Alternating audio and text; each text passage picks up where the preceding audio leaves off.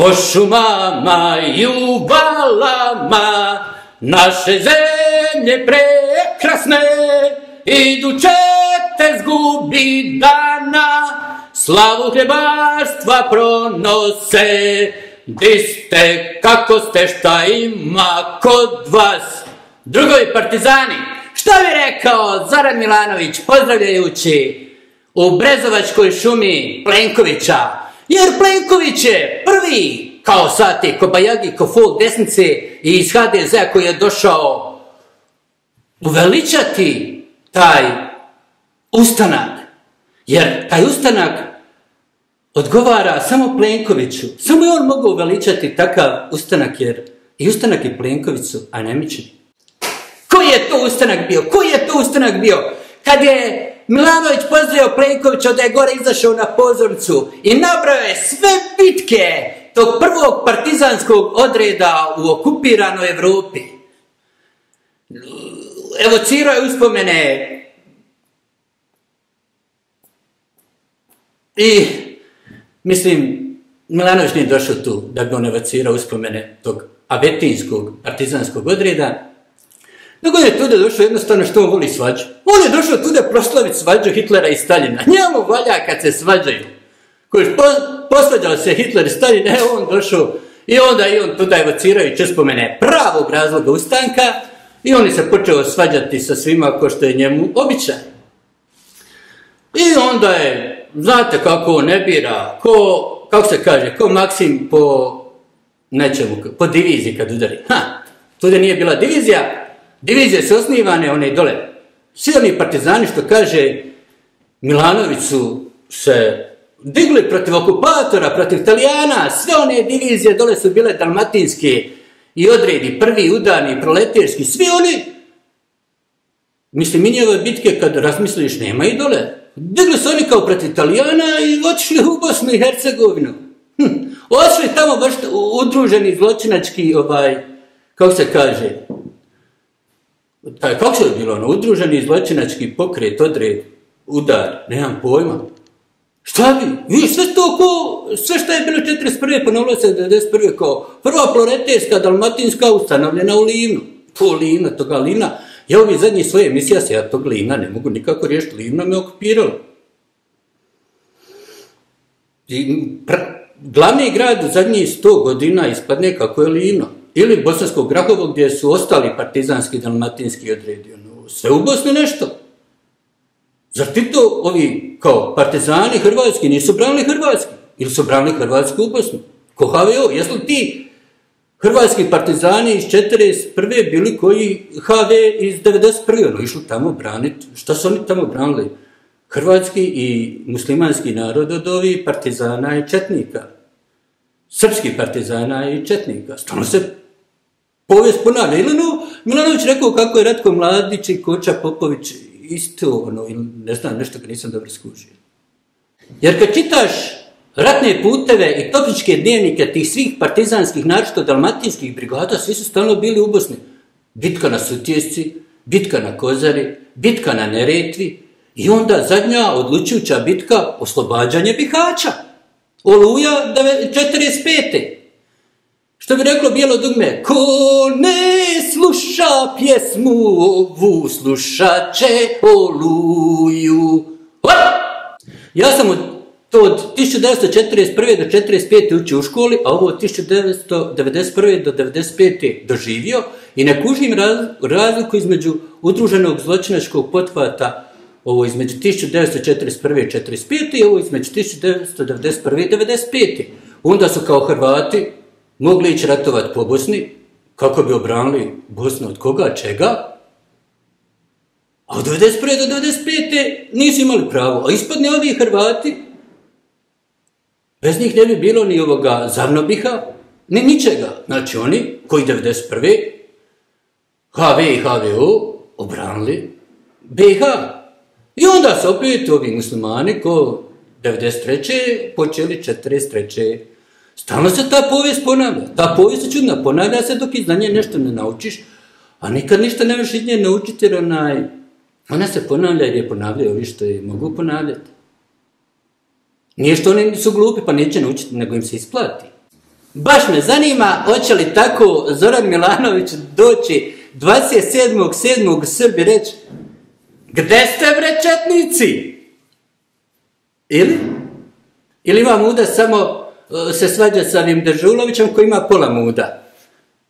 Pokaži ono što bi rekao Dalić, budi frajer do kraja. Reci, govori istinu. Vidi kako Milanović govori istinu. Ko se o svemu, samo o tim partizanima nešto počne mi muljati Srbu. Ako počne. A nadam se kako će uprti jako sunce i ovi će ga Pupovac i ovi na ljud pa će reći stvarno, bre, ili kako, pomoz Bog četnici. Znači, imamo, nemamo, ali mislim, bilo su Ustaše, oni se zna deseti četvrti, ovi hrvatski partizani, anemični, 22. šesti, a ovi četnički partizani, oni su 27. sedmi. Znači imamo, ako zanemarimo ove Ustaše što su bili od prijatu, znači od, od svađe Staljina i Hitlera, imamo dva ustanka. 22.6. i 27.7. Ja mislim kako ta dva ustanka, kako bi tu trebalo naći sredinu i pravi ustanak slaviti 10.7. a tada je se rodio najveći genijalac, pravi jedini ustanik, pravi čovjek koji više nije, ne spada u te sve kategorije, nego je ne treći, ne četvrti, nego stoti put. Znači, danas je se rodio Nikola Tesla. To je najveći praznik, što bi se reklo, u regiji, Balkanu, bivšoj Jugoslaviji, ali koga briga za Nikolom Teslom, svi se tamo prepucavaju glupostima. Drugovi drugarice, Nikola Tesla je najveći sin svih naših naroda i narodnosti. A kad smo već kod toga, moramo spomenuti i najbolju njegovu imitaciju, a ona naravno, odakle će drugo doći nego iz Livna. Naš voljeni genije, rastoračina, ovo ono.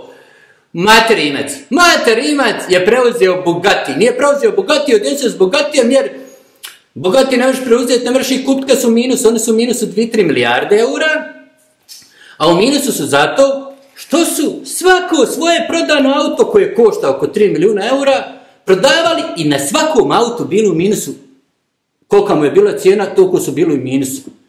I onda su oni rekli, ha vidiš, da ćemo ga materimcu, jer materimac je genijalac. On ne prodaje auta i nije u gubitku. Kojiš, i on se prepoznao, nema, evo ti bogati, pa nećemo ništa više prodavati i onda nećemo biti u minusu. Tako je Mate Rimac postao vodeći, oni kažu balkanski mask, ali on je europski mask, da je balkanski mask, ne bi dolazili Njemci, kužiš. Ne samo Njemci, ovo bogotinjem u njegu dolazila onaj Fondea, kako se zove, Horstenau, ne, Fondea Lanje, dolazila onaj Pavel, ovaj, Plenković, došli tamo i ovaj log, či log, kako se je log? Kampus, kampus uh, Kerestinac će praviti tamo. Neki kažu kako Srbi već spremaju, mislim, ovo mi se sve zapetljalo da sam tamo 41, 91. i onda mi još u glavi kako ovo Oluja što sam pjevao, kako Srbi snimaju film Oluja, rekao možda oni sad snimaju neki film Ursula iz Kerestinca, šta znaš, mislim, tako meni misli u glavi, zato ja nekad moram ovako brzo pričati da me ne bi sudelo one misli koje sam htio izbaciti, koje su ono blesave misli. Uh, ne mreš ti to, nego di sam bio, a ja, mater, imac, preuzio Bugatti i sad će se zvati Rigati, haha, će se zvati Bugari. Ma nije se nikako zvati, on se već zovu kako se zovu, samo eto, di ćeš pričati o Tesli, a ne spomenut čak neki kažu većeg od Tesla. Jer ovaj dolazi iz Livna, ovaj iz Liki. Iako neki kažu kako Livno, nikad neće biti Lika. Mlanac nije samo rastrio u Brezovačkoj šumi tamo po tim nekim beznačajnim uvalama, nego je rekao kako svi koji se ne cijepe bit će jadni. Znači, Milanović govori iz duše i srca, vidi ne tuda ništa i kaže, ljudi, cijepite se, ako se ne cijepite, pretvorit će vas u jadnike. Bićete građani desetog reda. On tu ne može ništa, on bi uradio nešto da može, on bi se svađao s njima ko sa ovim tamo ljevičarima, ekstremnim, ovom avangardom, koja nije više elita radničke klase, nego je kita radničke klase. Ali ne može jedni čovjek ništa, ne može, to sada ujedinilo globalni uhljad, ovo ono, i on ne može, cijepite se, jer ako se ne cijepite, onda će vam biti kod da ste i cijepili, kod da ne. Ako se ovi cijepi, oni mogu prenositi virus, mogu oboliti virus, mogu odumrti virusa, samo će imati manje muke. To je kod da se krstiš, ispovjediš i tako nešto. O, opet ovi Njemci prosjedi. Njemci prosjedi svake subati u Kokovu sati, u pola, u, ne, u 15 počinju pa dok obiđu pola grada i stavi ovako ovo. Evo sad ću vam pokazati kako Njemci prosjeduju protiv korone. Tamo vam ja o koroni, a Njemci, vidi, piše lockdown sofort benden, zaustavite lockdown, vidiš, njemačke zastave i sve tu. Vidite li vi tu? Gledajte kako Njemci i policija sigura i oni tako napišu nautić i trube po gradu. Ko da se ženi? Ko da je više slavlje, a ne prosvjed protiv korone. I stavi sve zastave. Ova ima neku je japanska fleka. Et, kad sam počeo Milanović o koroni, na Niđeše švabe. Ona pjesma je bila dobra isto. To pjevak Savijej na du. On napisao pjesmu protiv korone. Nije ko vi naši, daj mi još para. Ili ovi paf, paf, paf, bam, kako su one dvi, pa još one dvi sisulje utegnute. CO zwei frei, viren frei. To nije dobro, znaj. Eto tako. Niko ništa ne može. Šta bude, bit će. Skupljajte hranu, vodu, za piće. Ne znaš šta ćeš reći, evo da li će ove seratore sa sobom sastavi ove glavne i odgovorne kojima on ne zna šta će reći, pa će on reći, pa će on s njima reći, e, sad će vratiti još ove još starije od njih da igraju, da oni budu najmlađi, da ne kažu da nije podmladio ovu reprezentaciju. I tako će vam to biti. On će isto biti jedan, ono, osrednji godina, prosjek godina reprezentacije će nam biti, šta ja znam, 38, možda zaigram i ja. Hm, kad se obrijem, izgledam ja 10 godina mlađi.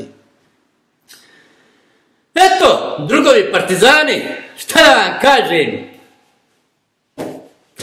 Ja pjevovi sve partizanske, kad te to partizanski, pa te... Nema, ima nešto u tim partizanima, ima nešto u tim partizanima da Bog kaže, da, da Lenin, Stalin i Marks i Engels zajedno kažu da nema, ima.